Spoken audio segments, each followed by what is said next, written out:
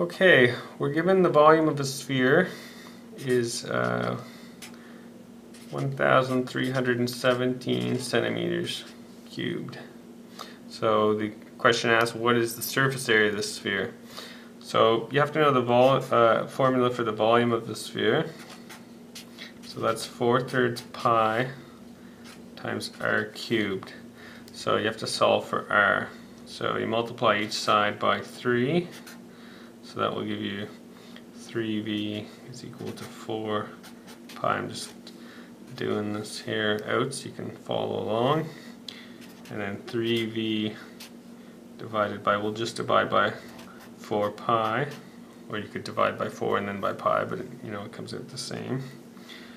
Is equal to r cubed. Now, you have to get the uh, what they call the cubed root. So usually this is written in math, you put a little 3 there, and then 3v over 4 pi is equal to r. Now, this, the same thing that you, to do it on your calculator, your calculator might not have a cube root button.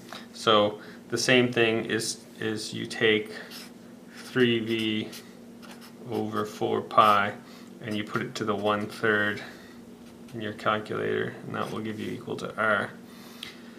So basically, so when you put in the one third on your calculator, it's you put it in the decimal form, so it's 0.333 and as many threes as you can fit. So now we just fill in the volume. So we have 3 times 1317 divided by 4 divided by pi.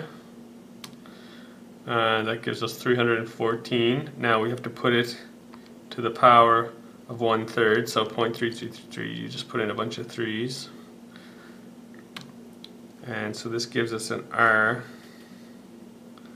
of 6.8 and it's in centimeters. Now the second part, well the question asks what's the surface area. So the sur now that we have the R we can find out the surface area for the sphere.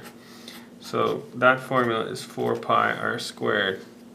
So we've got our R, so we just fill in the R, so 6.8 squared. So if we do 6.8 squared times pi times 4, that will give us the surface area. And my calculator says it's 581 centimeters squared.